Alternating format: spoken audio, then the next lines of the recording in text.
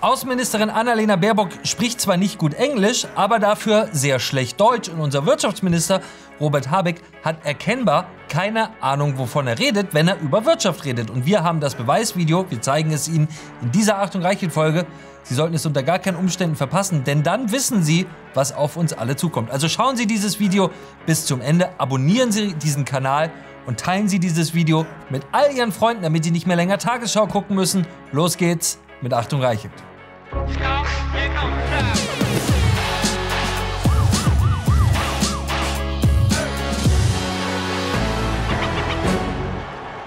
Herzlich willkommen bei Achtung Reichelt. Wie so oft in der politischen Weltgeschichte kann niemand im Nachhinein behaupten, er hätte nicht gewusst, was er da wählt. Sehr viele Politiker sind Narzissten. Narzissten glauben, dass man sie wählt, weil sie so sind, wie sie sind, nicht obwohl sie so sind.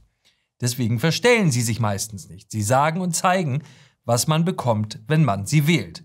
So war es schon immer, so war es auch bei der Grünen Partei.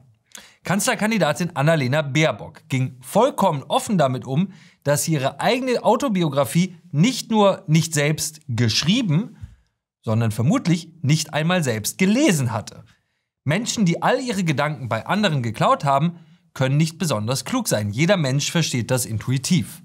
Wenn Annalena Baerbock eigene Gedanken hätte, dann müsste sie nicht fremde Gedanken als ihre eigenen Gedanken ausgeben. 13,3 Millionen Deutsche wählten sie trotzdem, weil sie offenkundig eine Kanzlerin wollten, die anderen Menschen ihre geistige Arbeit wegnimmt. Es kann also niemanden überraschen, dass die Grüne Partei uns wegnehmen will, was wir uns erarbeitet haben. Das Ergebnis? Wir haben nun eine Außenministerin, die uns auf der ganzen Welt mit ihrem gruseligen Englisch blamiert und die sich bei jedem Wort mit mehr als drei Silben verhaspelt. Oh weh, hätten das auch wir sein können, wenn wir eben nicht diese Lebensversicherung NATO gehabt haben. Wir haben zeitgleich erlebt, dass in Spanien selber die Wälder gebrennt haben. Das Land, das Land hält zusammen. Dass es eine stehende Brigade hier in Litauen von deutscher Seite gibt. Nahe der Kontaktlinie in der Ostukraine. Dem Wirtschaftsminister nichts gerührt. Die Rohstoffe Kobold. Noch ein Jahr Transporthubschrauber zu stellen. Und da gibt es jetzt die ersten Batterien, die auf Kobold äh, verzichten können. Und deswegen verfolgen wir von europäischer Ebene, von deutscher Ebene, für Paare den Steuersatz auf 45 Euro anzuheben. Wir haben mit dem Sanktionspaket insbesondere South Africa's path to freedom has been a beacon of hope. Ratschlussfolgerungen zum Iran verabschieden. Lasst uns dieses Europa gemeinsam verenden, liebe Freundinnen und Freunde. Bacon of Hope, Speck der Hoffnung. Schwer vorstellbar, dass man so etwas sagt, wenn man in London Völkerrecht studiert haben will. Aber wir wollen hier keine Verschwörungstheorien verbreiten. Derweil ermahnt uns Annalena Baerbock, uns Kenia als Vorbild für die deutsche Energiewende zu nehmen. Kenia ist ein Land, das aufgrund einer verheerenden Inflations- und Energiekrise vor unser aller Augen explodiert und Richtung Bürgerkrieg taumelt.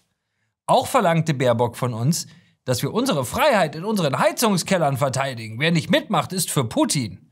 Hier noch einmal zur Erinnerung. In einer leidenschaftlichen Debatte darüber, wie wir diese Sicherheitsfrage Klimaschutz in der Gesellschaft verantworten. Und es geht darum, dass die Heizungen in unseren Kellern und Sie, die aus Ländern kommen, wo es derzeit ein bisschen wärmer ist, die Heizung ist für uns eine Frage von Sicherheit und zwar nicht nur im Winter, äh, dass die Heizung immer funktioniert, aber eine Diskussion darüber, dass jede Heizung in jedem Keller in unserem Land ein Teil unserer zukünftigen Sicherheitsstruktur ist. Darum geht es bei uns und das löst auch bei uns kontroverse Debatten aus. Aber für uns als Bundesregierung ist klar, wenn wir nicht alle Aspekte, auch das Heizen in unseren Häusern zu Hause, bei unserer Sicherheitsfrage mitdenken, dann werden wir diese Jahrhundertaufgabe nicht angehen können. Es löst kontroverse Debatten aus, weil es vollkommener Unsinn ist, was Annalena Baerbock dort erzählt. Das Ergebnis war das verheerende Heizgesetz, das dieses Land fast zerrissen hätte.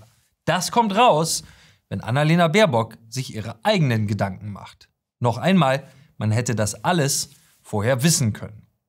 Das Beste, was man über Annalena Baerbock sagen kann, als Außenministerin kann sie relativ wenig Schaden anrichten, wenn sie nicht gerade aus Versehen Russland den Krieg erklärt.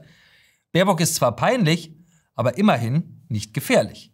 Ganz anders ihr Kollege Robert Habeck. Als Wirtschaftsminister ist er gerade dabei zu zerstören, was Generationen von Menschen in diesem Land aufgebaut haben. Unsere Industrie. Sein Trick? Er hat die Atomkraftwerke abschalten lassen, an deren günstigem, verlässlich fließendem Strom unsere komplette Wirtschaft hängt. Auch bei Robert Habeck hätte man vorher wissen können, dass er von Wirtschaft keine Ahnung hat. Hier ist der heutige Wirtschaftsminister Robert Habeck, wie er im Wahlkampf versucht, versucht, das Wirtschafts- und Finanzsystem zu erklären.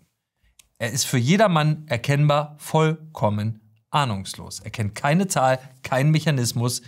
Wir sehen einen stotternden Kinderbuchautor, der jede Imbissbude innerhalb von Tagen in den Bankrott führen würde. Schauen Sie. Also wir reden ja beim Eigenkapital der Banken um eine Erhöhung von 8 auf 20 Prozent, glaube ich, oder so. Das wäre genau, sehr schön. Sagen oder so. Basel 3 ist von 1 auf 5 Prozent gegangen. Ja, aber 8, glaube ich, ist jetzt Vorgabe, oder? 5. Meinst du das? Hm, okay. Na gut, aber der, daran siehst du ja, also dann, wenn du das 1 zu 4, ist ja offensichtlich, dass also sozusagen mehr, mehr schuldnerischer Verkehr im Umlauf ist als äh, das reale Geld. Das ist ja, ist ja, wenn du von 1 auf 5 oder 8 gehst, dann sind ja sozusagen 90 Prozent nicht abgedeckt. Sozusagen. Das ist ja der, die, der Armfingervergleich. Jeder Unternehmer könnte zumachen. Ja, das stimmt, aber gut, ich, äh, also das liegt ja auch, gut, du musst sozusagen das System dann ja langsam rückwärts abwickeln, oder? Du musst jetzt vielleicht. Das ist Degrowth. Bitte? Das ist Degrowth. Ja, er wollte aber nicht Degrowth. So habe ich ihn nicht verstanden, sondern genau in die andere Richtung zielen. Dann habe ich ihn Gott sei Dank falsch verstanden. Hä? Dann habe ich ihn Gott sei Dank falsch verstanden. Ich glaube, er, wenn ich das richtig interpretiere, er wollte ein gerichtetes qualitatives Wachstum haben, das dann natürlich auch wahrscheinlich neue Kredite braucht und so weiter. Aber gut, dass die, das System heilt sich ja nicht selbst, sondern das hast du ja, hast du ja darauf hingewiesen, dass wir jetzt so viel Geld im Verkehr haben, ist eben auch jetzt die Politik, die Schulden durch einen niedrigen Zinssatz zu drücken. Das heißt, wenn du jetzt wahrscheinlich, wenn du, ne, wenn du jetzt den Stecker ziehst, dann ähm, kollabiert das. Sondern ich nehme an, aber da, also musst du mir vielleicht helfen oder vielleicht kann Annalena einspringen, dass du allmählich innerhalb des Systems die Schulden abbauen musst und dann weiß ich nicht, ob du dann irgendwann in ferner, ferner, ferner Zukunft zu einer 1 zu 1 Belastung wieder zurückkommst, aber ähm, die, die ist vielleicht auch gar nicht nötig. Aber so ist es jedenfalls äh, hochrisikoanfällig, das sagen alle Experten. Aber bei allem Respekt, ich soll Sie doch wählen damit Sie das deregulieren. Warum muss ich Ihnen das erklären? Robert Habeck hat keine Ahnung, wovon er da redet. Erkennbar keine Ahnung. Man könnte Mitleid mit ihm haben, wenn nicht unsere komplette Volkswirtschaft in seinen Händen liegen würde. Es war immer klar, dass Robert Habeck keine Ahnung von unserer Volkswirtschaft hat. Jeder konnte es sehen, jeder konnte es hören. Trotzdem stimmten Millionen Menschen dafür, dass unsere Wirtschaft, unser Schicksal in Habecks Hände gelegt würde. Soll nun kein Grünwähler behaupten, er hätte es nicht gewusst. Mit seiner Deindustrialisierungspolitik hat Robert Habeck unser Land in die Rezession und Millionen Menschen in Zukunftssorgen und Existenzängste geführt und getrieben. Aber dafür hat der Planwirtschaftsminister nur Spott übrig. Schauen wir zuerst auf die Wirtschaftslage. Die neuen Zahlen vom Internationalen Währungsfonds sind für Deutschland überraschend schlecht. Die Wirtschaft könnte um 0,3 Prozent sinken. Sie haben in der Frühjahrsprognose noch mit 0,4 Prozent Wachstum gerechnet. Da war das Glas noch halb voll und jetzt ist gar nichts mehr drin? Das würde ich so nicht sagen, aber die Daten sind natürlich nicht gut. Da muss man nicht drüber hinweggehen. Es gibt allerdings keinen Grund für eine German Angst. Man kann das ja erklären. Es gebe keinen Grund für German Angst, sagt Robert Habeck. Unter German Angst versteht man nicht etwa, wenn Deutsche sich sorgen, oh nein, German Angst bezeichnet eine kollektive Angststörung, einen irrationalen Wahn. German Angst ist nichts anderes als eine abfällige Beschreibung für den provinziellen deutschen Zauderer, der jede Veränderung fürchtet. So blickt Habeck auf uns herab, wenn wir von ihm nicht um unsere Lebensgrundlage gebracht werden wollen. Er sieht uns als Gestörte, die ihm nicht folgen wollen. Verachtung für das Volk, das zu schwächlich ist für seine grandiosen Ideen. Das ist der Geist des Robert Habeck. Auf Social Media und bei AD und ZDF kann man den fanatischen Jüngern der Grünen Partei förmlich dabei zusehen, wie sie zunehmend in Panik verfallen. Hauptstadtjournalisten und Aktivisten spüren, dass die überwältigende Mehrheit im Land nichts mehr mit grüner Ideologie zu tun haben will. Sie tun nun, was Ideologen immer tun, wenn sie nichts mehr zu bieten haben. Sie erklären alle Kritiker zu Feinden. Wenn Sie wissen wollen, was Sie in naher Zukunft alles nicht mehr sagen dürfen, dann müssen Sie nur aufmerksam ARD schauen. Hier ist ein Kommentar der Tagesthemen. Migranten gelten als potenzielle Messermänner. Sie sprechen in der Partei von Genderwahn und Regenbogenmist, machen Witze über das Gewicht der Grünen-Chefin. Früher bin ich noch zusammengezuckt, heute nehmen viele das so hin. Aber ich finde, dieser Ton darf nie normal werden. Denn die Würde des Menschen ist längst nicht mehr unantastbar für die AfD. Ist die Partei also verfassungsfeindlich? Was denn sonst, frage ich, wenn schon der erste Artikel des Grundgesetzes, also die Würde des Menschen, mit Füßen getreten wird?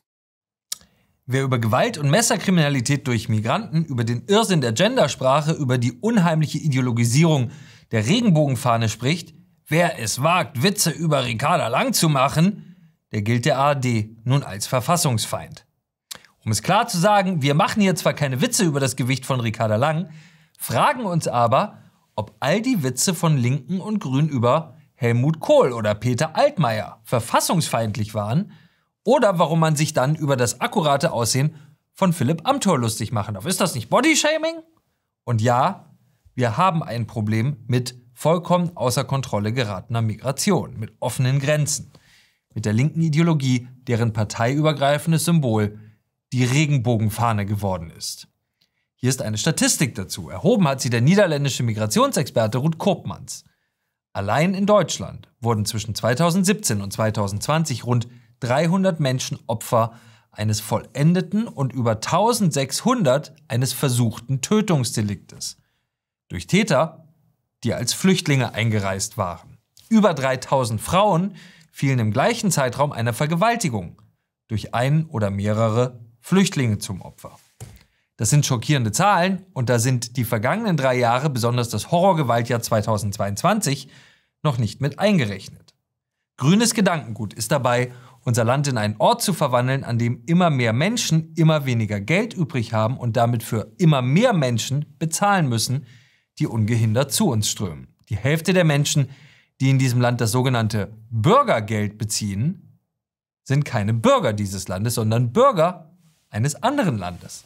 Seit 2010 haben wir sagenhafte 133 Milliarden Euro an ausländische Hartz-IV-Empfänger bezahlt. 133 Milliarden Euro. Und ja, unser Land wird durch diese unkontrollierte Migration düsterer, krimineller und gewalttätiger, nicht bunter, wie die Grüne Partei es versprochen hat. Jeder Mensch spürt es in seiner Stadt, in seinem Freibad, man muss sich nicht schämen, das auszusprechen. Man ist deswegen kein Verfassungsfeind, wie die Tagesthemen Ihnen einreden wollen. Selbst Ricarda Lang, die Vorsitzende der Grünen Partei, gibt inzwischen offen zu, was ihre eigene Partei angerichtet hat. Sie selbst traut sich nachts nicht mehr allein in den Görlitzer Park in Berlin. Schauen Sie. Würden Sie nachts alleine durch den Görlitzer Park gehen? Im Moment nicht, nein. Die Grüne Partei hat Berlin jahrelang regiert. Die Grüne Parteizentrale ist nur fünf Kilometer vom Görlitzer Park entfernt. Und nun geben diese Leute offen zu, sie haben mit ihrer Migrationspolitik, mit ihrer skrupellosen Ideologie der Vertuschung No-Go-Areas im Herzen unserer Hauptstadt geschaffen, in die sich nicht mal die Parteivorsitzende traut. Hier noch einmal. Würden Sie nachts alleine durch den Görlitzer Park gehen? Im Moment nicht, nein. Das größte Problem ist, wir sind inmitten einer Krise, die unser Zuhause für immer verändern wird, aber niemand tut etwas dagegen. In unseren Apotheken sind Antibiotika, Fiebersaft, Krebsmedikamente knapp, aber unser Gesundheitsminister Karl Lauterbach irrlichtert durch den italienischen Sommer, beleidigt die Italiener und kümmert sich lieber um Klimawandel und angeblich bis zu 20.000 Hitzetote im Jahr, die es genauso wenig gibt wie die Killer-Varianten, mit denen er uns in der Pandemie Angst einjagen wollte. Angst ist seine Macht, aber echte Arbeit ist nicht so seine Sache. Rezession, unkontrollierte Migration, Inflation, dramatisch steigende Kriminalität, Abwanderung von Unternehmen, ein vollkommen überforderter Wirtschaftsminister, eine implodierende Energiepolitik, die uns als Energiewende verkauft wurde, bei der wir nun aber den schmutzigsten Kohlestrom Europas mit Steuergeldern subventionieren sollen, ist das nicht eine Situation, in der sich der Bundeskanzler einschalten sollte, auch wenn er gerade in den Ferien ist? Somit doppelt und dreifach Wumms? oh nein, das sieht Olaf Scholz nicht so. Er hat andere Prioritäten.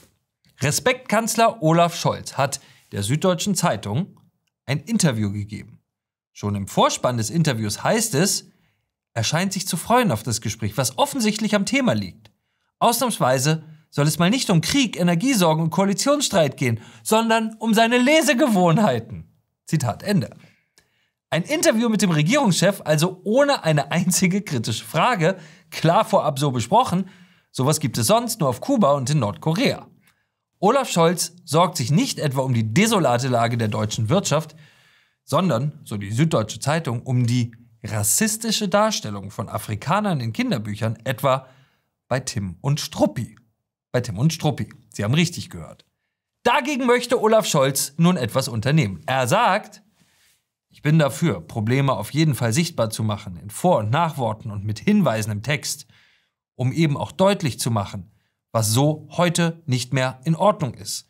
Wenn es sich um pädagogisches Material für Kinder handelt, sollte es klar unseren heutigen Vorstellungen entsprechen. Da werden wir Wege suchen und auch ein bisschen herumtasten müssen. Ich bin dafür, Probleme sichtbar zu machen, sagt der Bundeskanzler, aber leider meint er damit nicht unseren gefährlich inkompetenten Wirtschaftsminister Robert Habeck. Damit meint er, dass Sie Ihren Kindern nichts mehr ohne begleitende Warnhinweise der Regierung vorlesen sollen. Sie könnten Ihre Kinder ja auf falsche Gedanken bringen. Am Ende ist das nichts anderes als ein Generalverdacht. Der Verdacht, dass wir alle unsere Kinder zu kleinen Rassisten erziehen, wenn der Bundeskanzler nicht eingreift. Entmündigung und Einschüchterung. Das ist das Konzept dieser hilflosen Regierung geworden. Sie lösen Probleme, die keiner hat, und schaffen Probleme, die niemand haben will. Zum Ende unserer Sendung möchte ich Sie noch aufmerksam machen auf eine großartige neue Dokumentation auf news.de, nius.de. Wenn Sie noch nicht da waren, gehen Sie hin. Wenn Sie schon da waren, gehen Sie wieder hin. nius.de, die neue Nachrichtenseite für Deutschland, ganz ohne Propaganda, ganz ohne Zwangsgebühren. Und wir haben eine großartige neue Doku für Sie. Diese Doku heißt Wir haben gefälscht. Und sie handelt von Menschen, die sich nicht impfen lassen wollten und deswegen ihren Impfpass gefälscht haben, die in die Kriminalität abgerutscht sind, weil sie sich nicht impfen lassen wollten, weil sie Angst hatten, deswegen ihren Job zu verlieren. Ich kann Sie nur aufs Wärmste empfehlen, schauen Sie sich diese beeindruckende Doku an. Sie wird eine Debatte in unserem Land auslösen und sie wirft die Frage auf, sollen wir wirklich noch Menschen vor Gericht stellen? Tausende sind es in diesem Land, die in der Pandemie ihren Impfausweis gefälscht haben, weil sie sich nicht impfen lassen wollten. Eine spannende Debatte, eine wichtige Debatte, eine Debatte, die geführt werden muss. Und diese Doku auf news.de ab sofort online wird mit Sicherheit dazu beitragen, dass diese Debatte auch endlich geführt wird. Schauen Sie sich an, großartiges Werk geworden.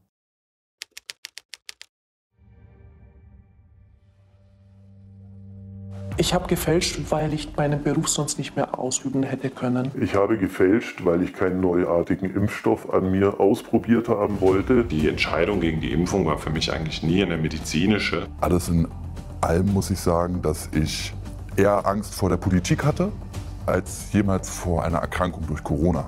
Es ging letztendlich auch so um Autonomie. Für mich waren diese ganzen Institutionen einfach nicht vertrauenswürdig. Das Jahr davor, da wurden wir noch beklatscht und gefeiert, weil wir in der Pflege doch so wichtig sind. Und das Jahr drauf wirst du genötigt, eine Straftat zu tun. Es war ziemlich nervenaufreibend, ja, weil es auch in einer Phase war, ähm, wo schon Leute aufgeflogen waren. Natürlich hatte ich Angst, erwischt zu werden. Ich habe das völlig locker gemacht. Ich würde es auch jederzeit nochmal machen. Es kam eher so ein Judas-Gefühl auf. Die Apothekerin hatte sich gewundert, dass ich schon drei Impfungen hatte. Wenn die Polizei gekommen ist, um zu kontrollieren, ob ein Gast da ist, der ungeimpft ist, bin ich derjenige gewesen, der die Strafe bekommen hätte. Durch 2G wurde letztendlich eine Zweiklassengesellschaft konstruiert. Es war wir gegen die. Dieser Staat hat uns wirklich wie Dreck behandelt.